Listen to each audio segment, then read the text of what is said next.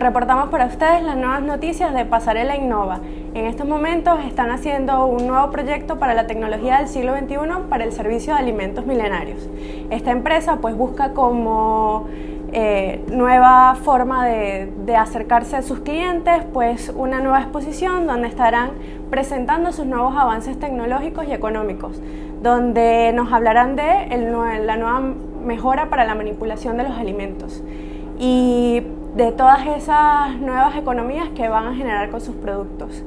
Eh, veremos si realmente van a ser eh, nuevas y buenas contribuciones o si serán más problemas para la generación de residuos en el medio ambiente. Reportando desde la Autónoma para Orbit, Alessandra Revuelta.